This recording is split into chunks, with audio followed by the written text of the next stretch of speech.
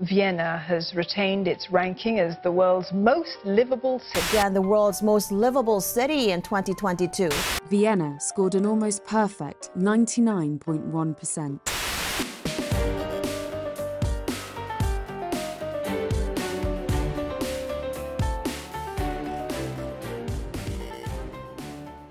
My name is Ramon Huidobro.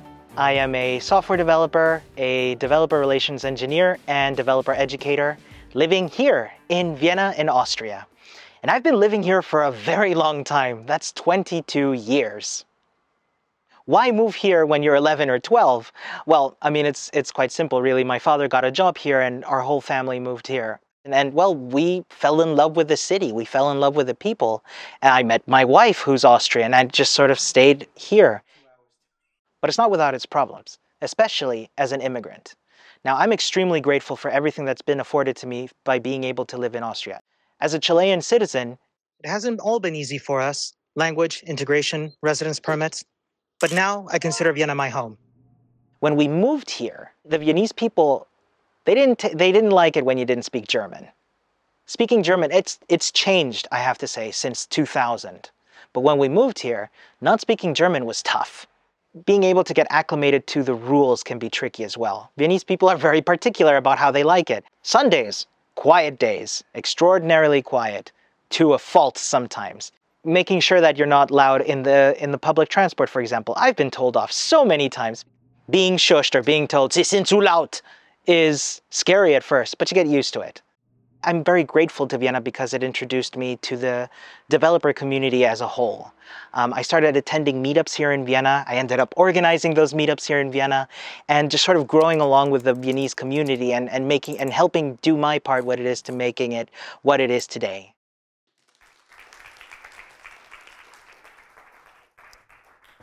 Thank you, Joe, for that lovely introduction. And hi, everybody. Thank you so much for being here today.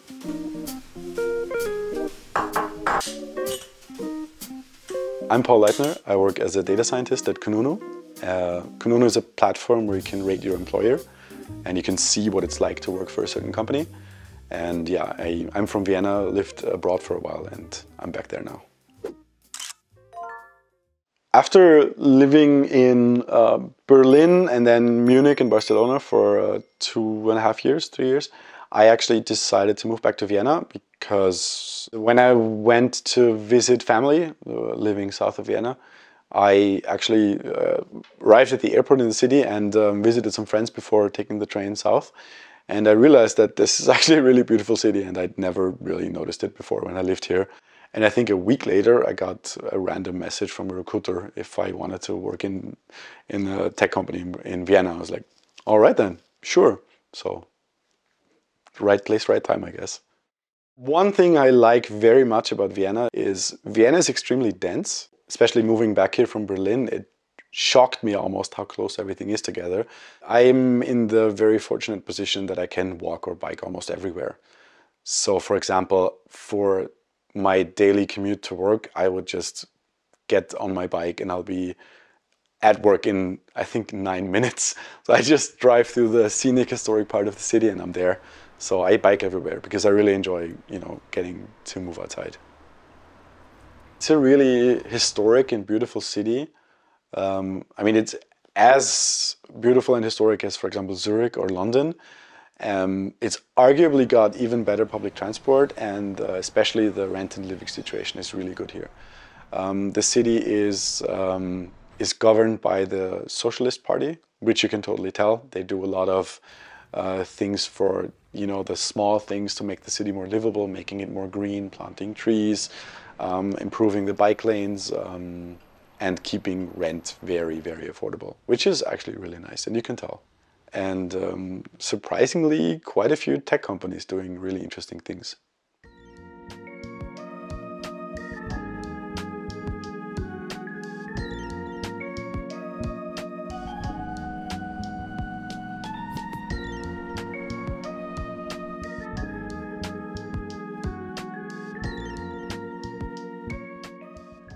I wasn't the best student in school, but my parents wanted me to go into some kind of engineering or science. And I was doing okay at computer classes in school, so I went with that. Luckily, a few years later, I found my calling. Somebody took a chance on me, gave me a freelancing position, and ever since I've been developing software in a whole bunch of different places, which has been great because I was able to try out different industries and still developing software. Even though I'm a little shy, I was teaching children to code and I started going to meetups and I discovered my passion for public speaking, event organizing, and eventually developer relations, or DevRel. Now I work as a developer relations engineer at a company called Suborbital, where I do WebAssembly and material for education for emerging developers. Hello, everyone. Welcome to lesson number 350. In essence, developer relations, in my opinion, is efforts that a company or entity undertake to reach developers, get feedback, or have them interact with open source projects or developer focused products. How I became a proper developer is actually kind of a funny story. I originally studied business, international business that is, um, in Lower Austria, and um, fell into the startup scene pretty much immediately after school. So I pretty quickly realized that I enjoy the the quantitative side of things. So I started not only delivering analysis, but also building sort of the data structures on there after working at a few startups in, in Germany and in Spain, I basically decided to make the switch completely to the quantitative side and uh, basically made a deal with a very small startup from Vienna. I was, I think I was employee number seven and they had four founders, so it was really early. So I basically told them, uh, yeah, I have experience in the whole business development side and I'm going to do that for you guys, but I'm also going to switch to the development side and I'm going to just take online courses and we'll see how it works out basically. And they said, um, yeah, sure, try. They were skeptical at first, understandably, because I didn't really have any formal background in tech at all. But over the course of only half a year or something, I took a really a lot of online courses on the weekends. And then from there, that really grew. So basically, um, I grew into that role pretty organically. And so after I think a year or two of working in that profession, I figured I'd do um, start, uh, do a master's on the side. I really enjoyed the learning process. There's a there's an element of puzzle solving to programming that always was really enjoyable to me. And yeah, I never looked back there from there.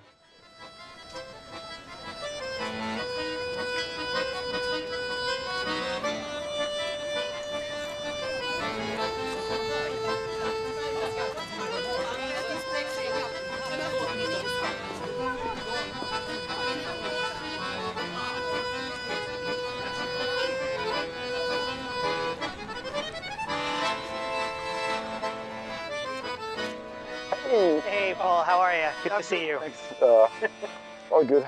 A lot of people say that Vienna is a tech city. Right. I wouldn't call it a tech city. That's I think that's reaching. Yeah. Um, That's which is fine, you know. I mean, very very little cities can be credibly called tech tech hubs Sure. or tech cities. That's fair. Um, something that's very Viennese. How much people here are into like degrees, just as a as something that you that you you know use to build your air of professionalism. And I think, especially in tech, that's changing. Thank God, Yes. because it's a little, it's a little strange, especially coming from, uh, coming back from Germany, where that's not really a thing, especially not in Berlin. And I remember I came into the office of my new company, and there was like on the door, there was the name of the person, and then a comma, BA, and I'm like, Bachelor of Arts, like who cares? And I'm not sure what role that was even. I think it was some random role that didn't really relate to that at all. And that's totally changing. That's because at the end of the day, if you're a front-end developer, if you're a good front-end developer, who cares what degree you have or don't have? Absolutely. Thank God. Absolutely no, and and it, and it's and it's funny you mentioned that because like when I was having some problems with you know back in I think it was like 2018 or 2019 that I had a massive burnout. And I was like, Okay. okay, I'm gonna I'm gonna switch over to to some full time work, and I went looking around. And you know, I, I had never heard of a Kollektivvertrag before. so once they put me through the checklist, Right. and they're like, ah, so you don't have that bachelor's degree, do you? Yeah, yeah, Well, yeah, We're yeah, gonna that's put a you thing. at this level here. That's actually a thing. So Uh, yes, I, I know you have eight years of experience, but you know you don't have a bachelor degree, so. Yeah. And I was like, "Thank you. I'm going to go finish it. I haven't finished it yet. All right. Fingers crossed then. Well, we'll see. It's funny. Working for a few years did make me appreciate some of the technical aspects to go back to university and be like, okay, I think I, I think I appreciate vector algebra now. I had I actually had a very similar experience because I did I did uh, I changed to tech from business Oh, with yeah. online courses basically, and then did a master's afterwards, and I really appreciated it because I, I could feel that when you work on projects, you you you learn basically on the job, which is Yeah. amazing, Incredible. but also you get these really weird holes in your memory.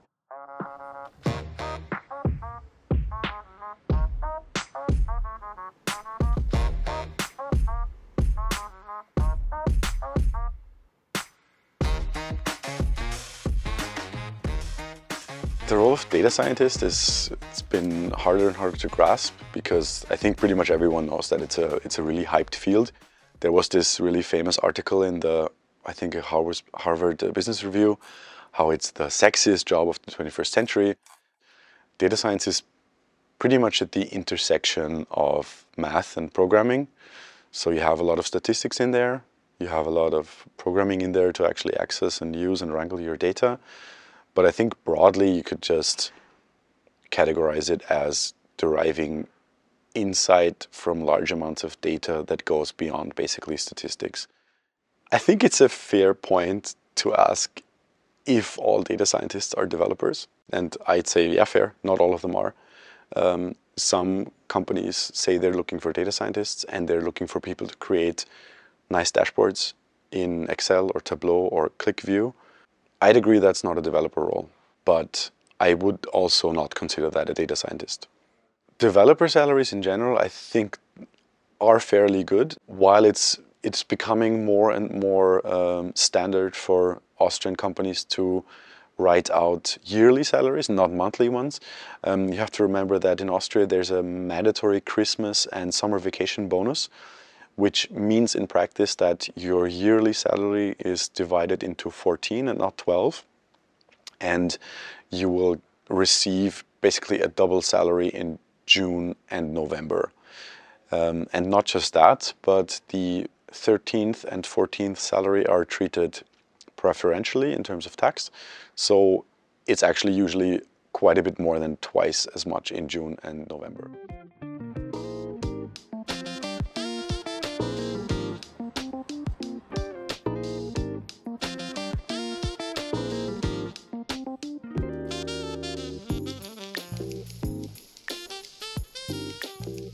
When I moved to Vienna as a very young child, I brought with me my love for old toys and old games. And, well, mechanical keyboards are just another joy of mine.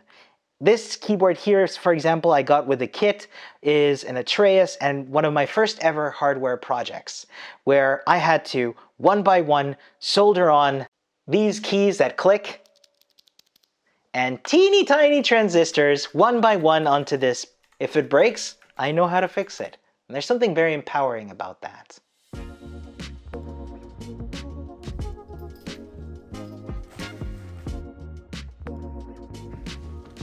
A large part of my family is really outdoorsy, especially in terms of mountains. So it's a bit of a running gag when I spend uh, the weekend outside. I come back with um, a whole sack full of mushrooms or uh, some some crystals that I found there. Oftentimes, especially when the weather is nice on uh, in summer, I take a very short Friday. So basically, start work at home at eight, um, quit around one or two, um, pack everything up, and um, go outside the city to um, usually the mountainside to hike somewhere. You jump on a train, which is train station is again 15 minutes by bike, and you're at the trailhead in two hours, three hours. So yeah, I'd um, go to Styria. You disembark the train and you're right in the, forest and you just hike up somewhere and um, if the weather's nice I stay up there overnight and then come back to Vienna Saturday evening. It's a really nice break from the from the whole city routine. Actually, oftentimes after work I um, I have my hammock with me and a book and I just um, when the days are long just stop by a park, hang up my hammock and read for an hour or two, which is really nice.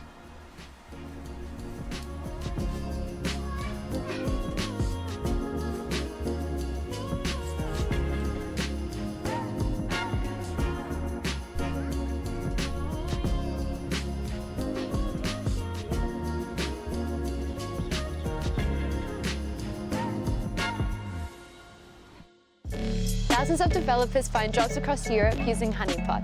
If you're up for a new challenge in one of these European cities, sign up at honeypot.io. If you want to see more tech documentaries, then subscribe so you don't miss the next one.